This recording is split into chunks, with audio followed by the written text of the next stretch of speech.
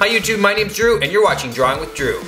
In today's video I'm going to show you a little bit of my sketchbook and I'm going to show you the process I am using for this particular book uh, that I've written and how I'm going to uh, transfer my pictures that I've drawn in my sketchbook to my computer. Usually I've been drawing just straight on the digital tablet on my UG drawing monitor but in this case I'm, i actually drew the book here so that I could uh, watch TV while I was drawing and so now I'm gonna transfer these pictures into Manga Studio. I'm gonna start to work on them digitally and uh, eventually upload them to CreateSpace so that I can publish my book.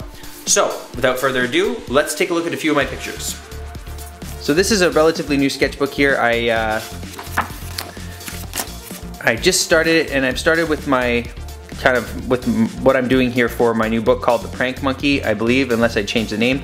But uh, so what essentially what I'm going to do is I'm just going to take pictures of each one of these uh, pictures that I've drawn, and I don't really care if um, if uh, they're perfect or not because I'm going to be again tracing them over in my uh, on my drawing monitor. So I'll just take some pictures.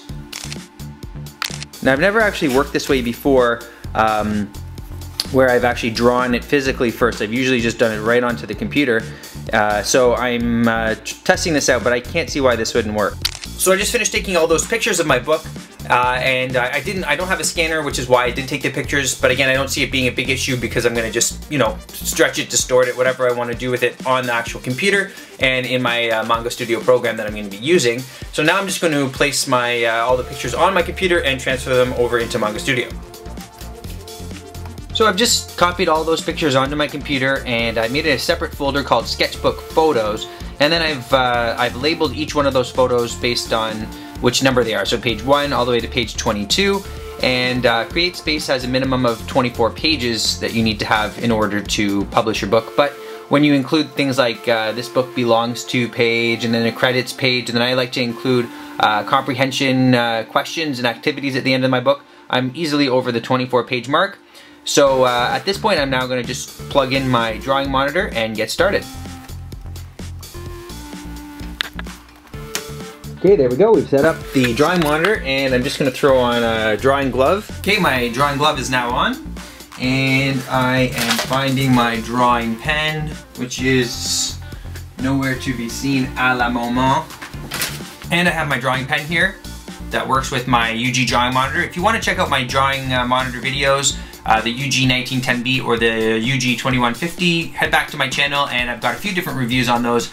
Uh, great monitors and I highly recommend those. Alright, let's go on to Manga Studio. So slight change of plans here. I'm uh, gonna actually use Photoshop.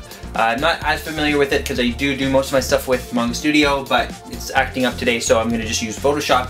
And I'm starting on page three of my book because the first two pages I'm not sure, I might change them a little bit. Um, this one, I'm gonna change the horse's face because I'm not a huge fan of it, but the background, I don't mind, so I'm gonna try that and uh, we'll go from there. So essentially what I've done here is I've opened up uh, the size document when I do my uh, book. This is one of my other books that I've created. Um, it's an 8.5 by 8.5 and uh, I think it's a good size.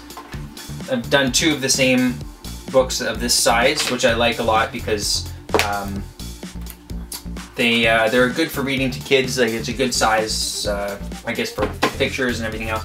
So I'm going to use this and I've opened my, uh, my pages here I'm going to just select it and then I'm going to copy it over to my original page of the 8.5 by 8.5 and just essentially trace it. And then I'll just stretch it to the size I'd like it to be because this is a lot smaller for my sketchbook. So I've adjusted the picture the way I want it to fit this uh, the screen size. I've added a new layer so that I can draw on top of this and then remove that layer afterwards. And I'm just going to start with the background because uh, I'm going to leave the horse's face to the end since I'm not too happy with it.